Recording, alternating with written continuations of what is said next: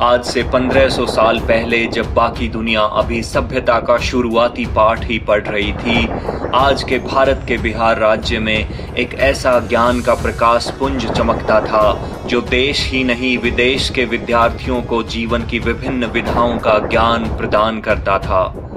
सदियों पहले जब कोई आधुनिक संवाद का माध्यम उपलब्ध नहीं था, विद्या के इस महागुरुकुल की ख्याति दूर दूर तक फैली हुई थी। कई शताब्दियों तक हज़ारों लोगों के जीवन में ज्ञान का उजाला भरने के बाद एक ऐसा दिन भी आया जब इसे बेहद क्रूरता के साथ हमेशा के लिए मिट्टी में मिला दिया गया। प्राचीन भारतवर्ष के गौरवशाली इतिहास के सुनहरे पन्नों की शान से लेकर काल के अंधेरों में खो जाने तक की दास्तान बयान करता, यह है प्राचीन नालंदा महाविहार। भारत भूमि ने शताब्दियों तक विदेशी आक्रमणकारियों और घरेलू राजाओं की कलह से उपजे दमन को अपने सीने पर झेला है। और इसी पीड़ा की राख में ऐसी अनगिनत ऐतिहासिक विरासतें दब गई हैं, जो अगर आज होती तो पूरी मानव जाति के कल्याण में काम आ सकती थी। नालंदा की कहानी भी शायद ऐसे ही दब कर रह जाती। अगर उस दौर के महान चीनी यात्री और मोंक हैनशांग ने नालंदा में 630 से 642 के बीच गुजारे अपने दो सालों के समय को लिखकर आने वाली पीढ़ियों के लिए सुरक्षित नहीं किया होता तो। तब के सम्राट राजा हर्षवर्धन के बेहद करीबी रहे हैनशांग ने खुद नालंदा में रहकर बौद्ध धर्म से लेकर वेदों और ग्रामर की शिक्षा प्राप्त की और बाद में उसी नालंदा में अध्यापन का कार्य भी किया। जब वो यहाँ से वापस चीन गए तो अपने साथ कई किताबें और वस्तुएँ लेकर गए, जिनसे चीन में भी भारतीय ज्ञान का डंका बज उठा। नालंदा की स्थापना पांचवी शताब्दी में गुप्त वंश के राज के दौरान मगध देश में की गई थी। यह इलाका आज के दिन के बिहार में पड़ता है। समय गुजरता गया, राजा बदलते गए और हर नए राजा ने अपनी तरफ़ से नालंदा का कुछ ना कुछ विस्तार ज़रूर किया। इन्हीं प्रयासों का नतीजा था कि अपने चरम पर नालंदा में कई हॉल्स, मंदिर, निवासियों के रहने के लिए कमरे और पुस्तकालय जैसी सुविधाएँ उपलब्ध थी। विशाल एरिया में फैली हुई इन संरचनाओं को बेहद ही सुनियोजित तरीके से बनाया गया था। इसके चारों तरफ़ आम के घने पेड़ों की दीवार बनाई गई थी और महाविहार में कई तरह के फूलों वाले पौधों को लगाया गया था। यहाँ पर साफ़ पानी के तालाब भी बने हुए थे, जिनका पानी नहाने से लेकर खाना बनाने तक के रोज़मर्रा के कार्यों में उपयोग किया जाता था। समय के साथ नालंदा बौद्ध धर्म और वैदिक ज्ञान का मुख्य केंद्र बनता चला गया। यहाँ पर कई हज़ार बौद्ध भिक्षु, विद्यार्थी और उनके अध्यापक रहते थे। सम्राट के एक आदेश पर नालंदा को सौ गाँवों से होने वाली कमाई और जरूरतों के हिसाब से भोजन एवं अन्य आवश्यकता की वस्तुएँ बिल्कुल मुफ़्त में उपलब्ध करवाई जाती थी। नालंदा में प्रवेश के लिए होने वाली कठिन परीक्षा को पास करके एक बार जो यहाँ पढ़ने के लिए आ जाता था, उसके लिए सब कुछ पूरी तरह से फ्री होता था। फिर ना रंग देखा जाता था, ना जाति देखी जाती थी और ना ही देश। यहाँ पर सब समान थे। यही कारण था कि यहाँ पर चीन, साउथ कोरिया, वियतनाम, जापान समेत कई देशों से विद्यार्थी पढ़ने के लिए आया करते थे।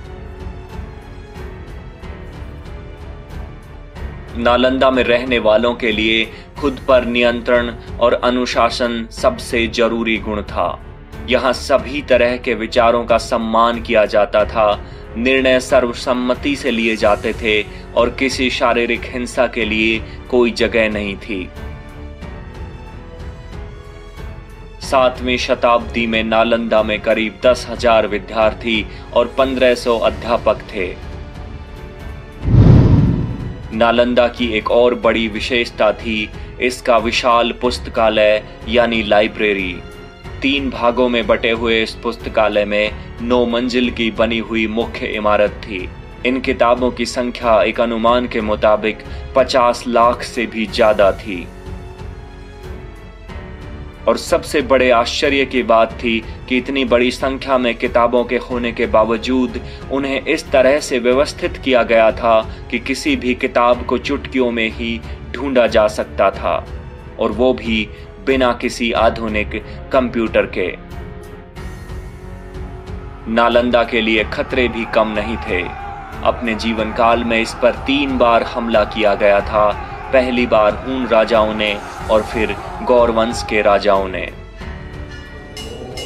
हालाँकि इनके द्वारा किए गए हमलों में नुकसान कोई बहुत अधिक गंभीर नहीं था और कुछ ही समय बाद फिर से नालंदा को अपने पुराने स्वरूप में लौटा दिया गया था। काल का पहिया ऐसे ही घूमता रहा और नालंदा की ख्याति भी बढ़ती चली गई। लेकिन अब जल्दी ही सब कुछ बदल जाने वाला था।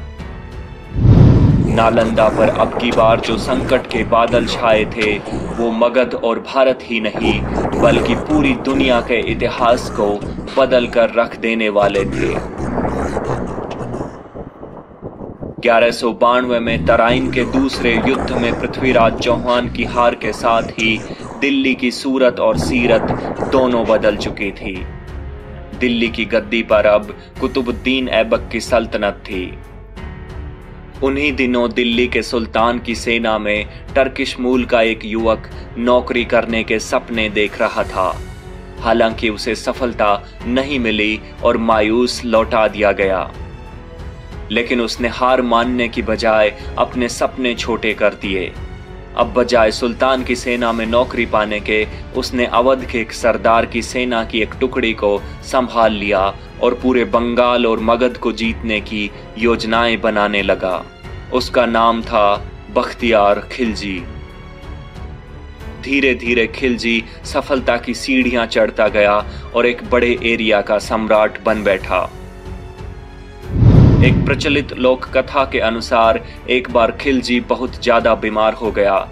उसके अपने हकीम जब उसका इलाज कर पाने में नाकाम रहे तो किसी ने नालंदा के प्रसिद्ध आयुर्वेदाचार्य से इलाज करवाने को कहा। लेकिन खिलजी को यह कतई मंजूर नहीं था कि कोई अनजान आयुर्वेद का जानकार उसका इलाज करे। अंततः कोई रास्ता ना पाकर खिलजी एक शर्त पर नालंदा के आयुर्वेदाचार्य से इलाज करवाने पर सहमत हो गया और वो शर्त यह थी कि वह उनसे कोई भी हिंदुस्तानी दवाई नहीं लेगा। आचार्य ने यह शर्त मान ली और कुछ दिनों बाद उन्होंने पवित्र कुरान की एक किताब लाकर खिलजी को दी और कहा कि इसके रोज कुछ पन्ने पढ़ लिया करो, तुम ठीक हो जाओगे। खिलजी ने ऐसा ही किया और कुछ दिनों बाद वह पूरी तरह से ठीक हो गया। असल में पवित्र कुरान के पन्नों पर दवाई का एक लेप लगा दिया गया था। इस तरह से जब भी खिलजी पन्ने पलटने के लिए उंगली को मुँह में ले जाता, दवाई उस पर लगकर शरीर में चली जाती।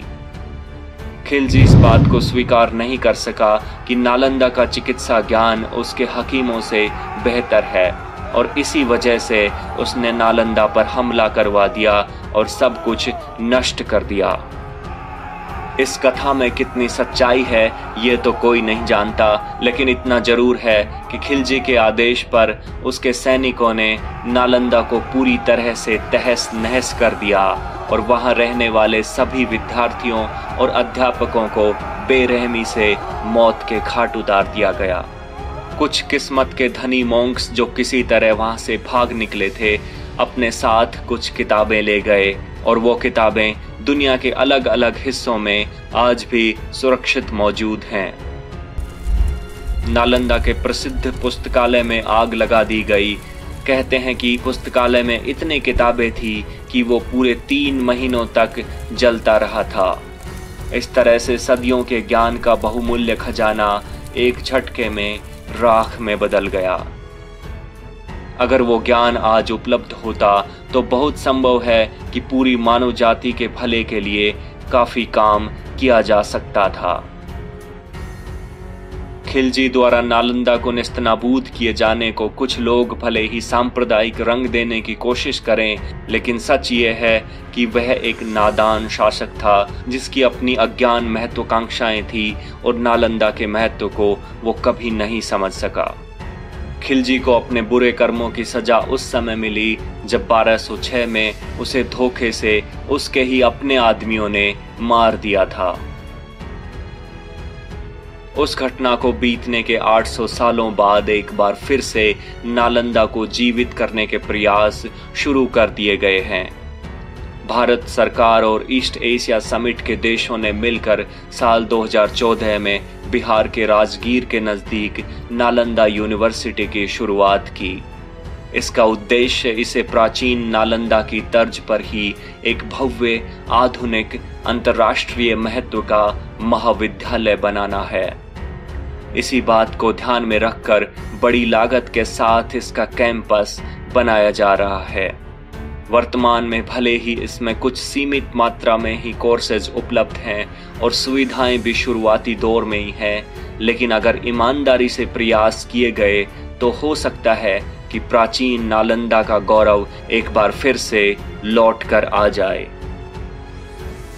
आज के दौर की टॉप यूनिवर्सिटीज ऑक्सफोर्ड और कैम्ब्रिज की स्थापना जिस जमाने में हुई थी, उस समय तक नालंदा 800 सालों से भी ज़्यादा समय तक हज़ारों विद्यार्थियों को शिक्षा दे चुका था।